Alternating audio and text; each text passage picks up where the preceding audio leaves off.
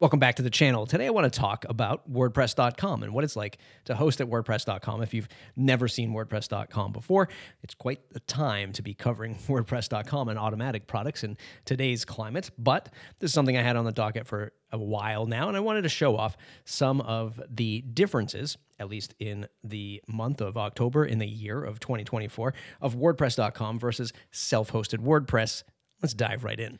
Let's dive into one of the nice little Easter eggs of WordPress.com using a feature that I love the command palette, something I've been waiting for to uh, use across self hosted WordPress.org admin screens for a while now. Where is it in WordPress.org land? It's here in WordPress.com. You can hit Command K at any point to pull up the command palette to navigate to different areas of your WordPress website. I can start to create a new post or do certain admin tasks, do things in Jetpack.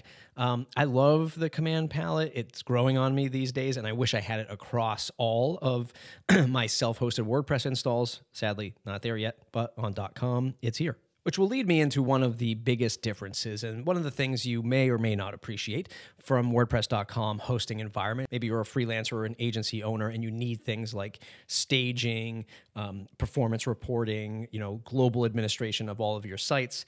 WordPress.com has that now. If we go into our um, hosting overview page that'll show us all the sites we have on WordPress.com and being able to punch into each and every one of them to do some more global administrative tasks. Okay, here we are in the uh, dashboard overview of your hosting account. Now, this will list all of your hosting uh, accounts that are attached to your main account on WordPress.com. So you can manage a bunch of client sites here on WordPress.com or a collection of your own sites that you have.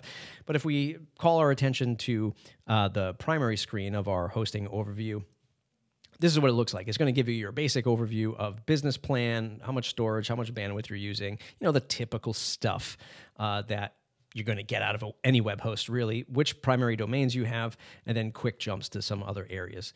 Things that they've really improved upon. If you're a developer, you can sync up GitHub for deployments to your WordPress.com account. I think I covered that on the WP Minute a while ago when it uh, first came out. Uh, you can monitor your site and see the performance of the server, uh, the responses, and a bunch of other stuff that might help you debug why things are uh, going the way they are. There's a logging environment. You'll see I have some warnings here, uh, but you have your typical logs, which from the word older WordPress.com days, you just didn't have access to. Now you have that in their hosting site. The staging features actually work really well. Um, staging I'm assuming has gotten a lot better for web hosts these days. Uh, but I remember back five, six years ago, staging was like a selling point. It was a critical feature. It was a differentiator across the board for a lot of web hosts. Now you can spin up staging sites, and you can see I have one already for this. Um, particular website, and I can uh, choose to sync between staging into production so if I build some stuff out on staging, I want to bring that live. I can select this, uh, the theme, the plugin, the media uploads, the content, uh, or additional web root uh, files and directories. Or if I'm going the other way, like I want to take just the production site and throw it over to the staging, I can click the synchronize button and that'll handle it for me. And lastly, server settings. You can set up your typical access to uh, administer the server through SFTP or SSH, phpMyAdmin, clear all caches, sort of all of that administrative stuff that you're uh, used to doing in many managed WordPress hosting environments. All of this to say is uh, I appreciate the direction WordPress.com is going in, and it's starting to look more and more like a typical managed WordPress competitor, where in the past it was just like a big multi-site literally. And uh, you know you were just logging into wordpress and doing your thing. You didn't have all of these tools and features that you get from the larger hosting ecosystem. So one of the reasons why I move this site over to WordPress.com is to not only get the experience and try to understand what Automattic is doing with WordPress.com as somebody who critically covers the space, but to also see what they're doing to compete with sites like a Ghost and uh, a Substack or any kind of like newsletter site who is you know enticing you to grow a newsletter, maybe monetize your content. And this is where things kind of really start to fall flat for the experience side uh, of WordPress.com for that particular use case. Jetpack comes with uh, my particular web hosting plan and a lot of the features for subscribing to a newsletter, uh, stats, all that fun stuff that you would get in a Ghost and a Substack environment. They're there in Jetpack, but they're just not front and center for the WordPress.com experience. In fact, we're just looking at a typical WordPress dashboard right here. I have the little Jetpack widget loading here, but it's not really uh, en- enabling me as a you know newsletter author and somebody trying to monetize uh, a, a content site. It's not driving home those data points for me. If we go into Jetpack, it's still just a, pretty much a standard Jetpack experience. We have our stats to the site. We have the different features that are turned on and active. And, and by the way, some of these things are great. One of the another reason why I wanted to run on WordPress.com uh, was to get things like VaultPress to have a little bit of safety on backing things up, and VideoPress, which I plan to be using pretty soon. VideoPress is actually one of my favorite Automattic products. Uh, the video hosting side, I think, is an untapped market for Automattic and WordPress.com. VideoPress allows you to host uh, videos instead of going to YouTube and then embedding it back onto your site. You can host those video files, leveraging the Jetpack in the in the WordPress.com slash Automattic CDN network that they've built for so many years um, to deliver fast loading video files. Uh, but it's not st- it's still not built for that um, you know publisher in mind. If I go to stats, uh, the overall stats, it's showing me the page views and the typical Jetpack stats you're going to get uh, when you go uh, and run Jetpack, let's say on your own self hosted site. You can look at your top content and you can go to another subscriber screen that shows you the growth of your newsletter stats here. Still, I would really like this stuff to be front and center to the immediate like login of WordPress.com. Maybe that's where they're uh, headed with this kind of stuff. I'd really like to extract these stats and show this front and center uh, for somebody who's focused on um, the different verticals of running a WordPress website. Okay, let's talk about themes and plugins on WordPress.com. I'm running uh, the rock based theme on this particular site right now.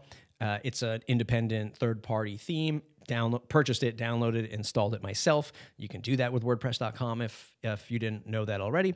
And when we click into theme showcase this is something that is specific to wordpress.com this is wordpress.com's uh, theme marketplace, if you will, not to be confused with the plugin marketplace, which we'll look at in a moment. But there are specific WordPress.com themes here available for download uh, for free or for paid. Um, this is something that is another advantage to folks who want to run on WordPress.com specifically for the themes that are available. Uh, I know it's been a selling point for years for WordPress.com, so that hasn't changed. But there's a lot of new themes here that that do look pretty exciting. Um, it, it's not going. You're not going to build these in any different way. You're still using the site editor. You're still using the core features available um, to many WordPress users out there in the world. But the theme, design, color scheme, typography, and all that stuff would be specific to WordPress.com under the theme showcase. Let's take a look at the plugins. This is where things get a little bit different, and it's been evolving over the last few months. I can go to my plugins page and see my typical view of WordPress plugins, just like you do with WordPress.org. But they've added something interesting here. They've now called it the marketplace. And it used to just be inside the plugin page you could get to it. Now it's its own standalone screen under plugins and then marketplace. And this is where you can search for. Uh, through WordPress.com for third party plugins like Gravity Forms uh, that I have installed and running here. Uh, but you can buy other premium plugins if the particular plugin you're looking for is partnered with WordPress.com. And speaking of themes and plugins, they have a scheduled updates initializer plugin update manager. They call it plugin update manager. I'm trying to think of a, a, better term for it, but you know they're the ones that made it. They're they're the ones that know best.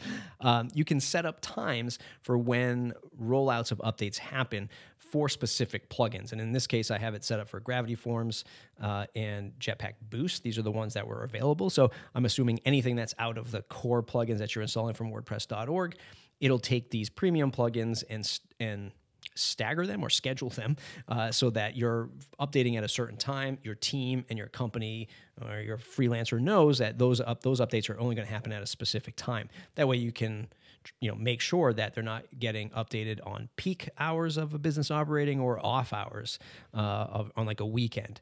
They have a test URL path where it'll test the page for errors, uh, and you can add those in. So in the event it does find errors, it would roll back the updates to the previous version that was just trying to update from. I want to bring it to the post editor experience for a moment, and I just really want to focus on one area, and this is one of the benefits of using Jetpack and having Jetpack available in a, a, plan like this is I actually do use some of the AI features, uh, which is like generating feedback or maybe improving a title for SEO. I mean, sometimes I click it and I don't use the title, but I just wanted to see like what else uh, is out there. So I kind of use it as like a sounding board. Um, generating feedback, I generally click that before I uh, publish. It's nice to get some feedback back, even if it's AI generated.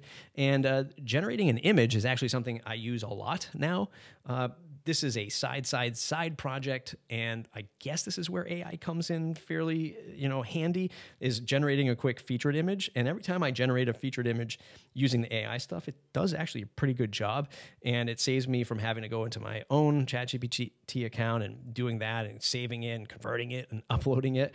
Um, so i do appreciate that i have at least that part of AI. We'll just wrap it up with the price with points just so you can see them. There's personal plan, premium plan. Neither of those will get you the ability to install plugins or any of those sort of like manage hosting feel features. Um, I'm on the business plan. Square there in the middle is 300 bucks for the year if you pay it annually, and it's going to give you the tools uh, from Jetpacks. It's going to give you the AI stuff. It's going to give you the VideoPress. It's going to give you VaultPress. Um, and I think from a publisher's point of view, it's a sweet spot from a pricing price point, right? I think it's it's giving me everything I need, leveraging the large infrastructure from WordPress.com or the dependable infrastructure from WordPress.com, and it's giving me that familiar environment of you know vanilla WordPress with some bonus features there. Um, I think if I were to you know if I was someone who didn't want to deal with WordPress at all, like the complexities of the learning curve or all of the features that it has to offer, all these themes and plugins, would I go Ghost or Substack? I'd probably go Ghost because it's open source over Substack for sure. Um, Ghost does give you something that is a little bit more streamlined for that environment.